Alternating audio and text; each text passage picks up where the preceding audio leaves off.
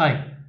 There's been a lot of uh, talk about uh, Wi-Fi 6 specifically and 5G cellular, um, whether there is going 5G is going to kind of uh, kill Wi-Fi 6, etc. So I kind of uh, want to dwell on this uh, briefly. So I call it as uh, something where cooperation and competition is involved. Um, my name is uh, Srikanth and I'm with NanoCell Networks. So let me start with looking at the Wi-Fi evolution. As many of you already know, we are uh, and very nicely positioned by Wi-Fi Alliance. We are in the sixth generation of Wi-Fi with 11AX hitting the market and uh, ever increasing uh, peak speeds. Um, of course, 2.4 and 5, 6 gigahertz on the anvil, uh, new technologies, uh, OFDMA coming in as well, MIMO, multi-user MIMO, etc. Large bandwidths, uh, similar to a carrier aggregation concept in cellular, etc.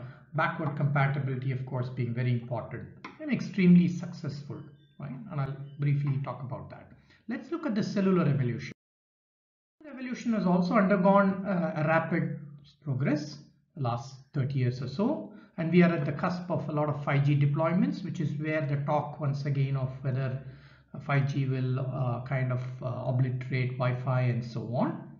Um, so remember that uh, cellular systems generally are a little bit bigger because they involve what we call as the radio access network and the core network which is all towards packet core now and uh, a lot of investment, a lot of news, license spectrum, etc. Now, one small difference in the evolution of cellular uh, as we see here and what we saw in the previous slide in Wi-Fi is that Wi-Fi generations more or less have to kind of survive in the same unlicensed band, the 2.4 and 5 gigahertz. Generally, cellular evolutions hop bands in the sense that in the same place at the same time you don't find 2G and 3G deployed or 3G and 4G deployed. Changes are happening with 4G and 5G where we can have uh, because of the technology similarity between the 5G uh, NR as it's called and LTE, uh, coexistence uh, similar to a Wi-Fi concept is possible. Okay, so that is sort of a, a, new thing to keep in mind. Uh, ever increasing peak speeds, um, and of course, generally a lot of attention and so on. So just keep this backdrop as we go and look at the real issues.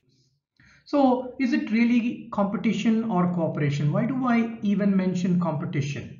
The only reason for mentioning competition I feel is that I think they thrive off each other, uh, not so much of a dedicated thing. But to look at that, let's look at a few facets. As I have mentioned, cellular operates predominantly in licensed spectrum, lots of money, lots of news. Uh, Wi-Fi, of course, has only been an unlicensed and not going to any licensed band as far as I know. Cellular, of course, as you will see later on, also has some uh, things happening in the unlicensed band. It has moved from voice to data, CS to PS. Um, uh, Wi-Fi has always remained PS, also can carry voice with Wi-Fi calling now becoming big in many countries. So Wi-Fi not only carries data but also voice. But the real most important trend which I tried to capture in the picture is we really have just one device which makes a big impact on the cellular network. And not only the same device but so many other things. For a lack of space I cannot accommodate everything. I think plenty of devices. Why is that the case? Many of our large volume data use cases nowadays TV and laptops and so many other things are predominantly indoors. Many times, uh, you know, people watching it are seated typically. And so this makes for a very friendly use case for Wi-Fi. Indoors, uh, lots of data, more or less static environment. Uh, and let's not forget the low cost of embedding Wi-Fi. Uh, no need to go to a carrier.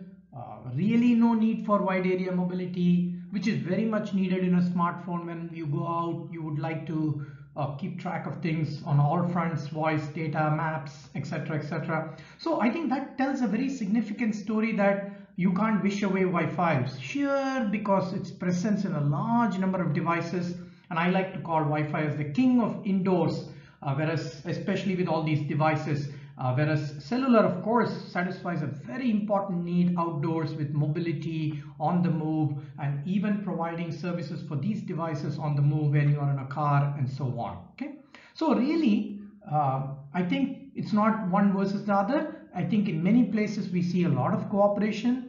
Um, could be in a car, uh, could be in a train where we use cellular as a backhaul and use Wi-Fi inside, and that is becoming more formal with 5G. Okay.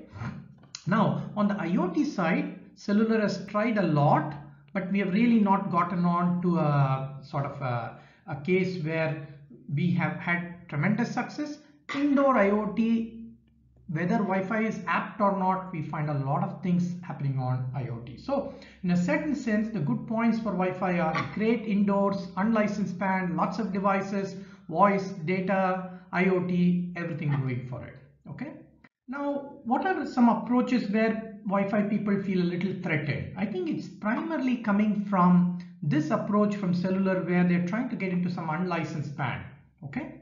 Now this unlicensed band effort of cellular has not really become a threat with this uh, LAA approach. Um, MulteFire takes it one further and 5G brings it into the sort of 3GPP mainstream case.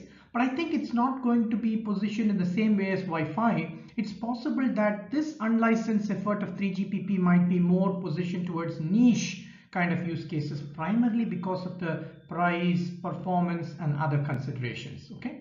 I think the real story to look at from a cooperation form from uh, front is even service providers offloading on Wi-Fi and in the future with 5G uh, coming up and saying that we'll do cellular plus Wi-Fi, I think we have a lot going for something together. I think that's the story that I want to leave you with that even service providers I think will use a lot of Wi-Fi either in offload or cellular plus Wi-Fi and I don't think this 5G unlicensed is as such something that Wi-Fi should view as straight competition. I think one should view it as more of something which spurs Wi-Fi to look at itself much more critically and possibly develop a lot of new techniques for enhancing its core uh, use case.